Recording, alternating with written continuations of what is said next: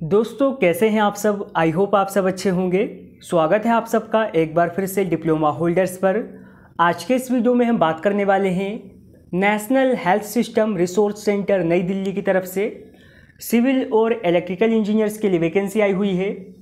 यहाँ पर आपकी डायरेक्ट भर्ती रहेगी। सैलरी यहाँ पर आपको काफ़ी अच्छी मिलने वाली है। ऑल ओवर इंडिया के कैंडिडेट यहाँ पर अप्लाई कर पाएँगे। बाकी की जानकारी हम आगे की वीडियो में डिस्कस करेंगे।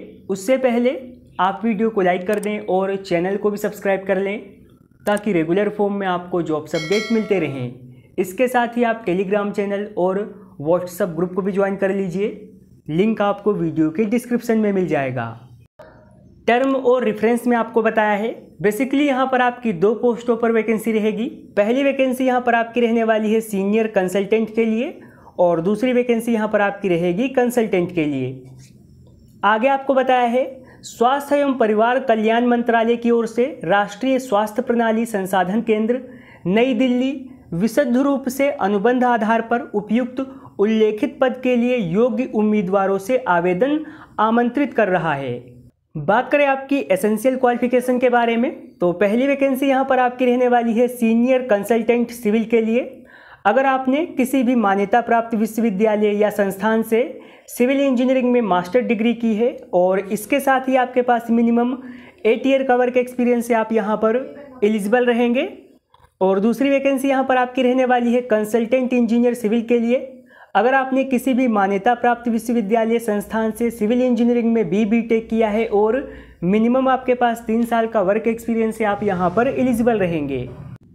इस पोस्ट में अप्लाई करने के लिए मैक्सिमम एज लिमिट यहाँ पर आपकी 64 ईयर रखी गई है। अब बात करें आपके पे लेवल के बारे में तो सीनियर कंसल्टेंट को सैलरी यहाँ पर नब्बे हज़ार रुपये से लेकर एक लाख पचास हज़ार रुपये प्रतिमंथ तक मिल जाएगी और कंसल्टेंट इंजीनियर सिविल को सैलरी यहाँ पर साठ हज़ार रुपये से लेकर एक लाख बीस हज़ार रुपये प्रतिमंथ मिल जाएगी।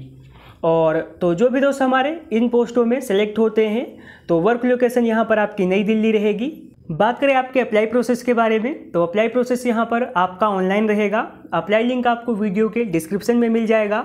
फॉर्म ऑनलाइन होने आपके शुरू हो चुके हैं और लास्ट डेट यहाँ पर आपकी एक अगस्त रहेगी।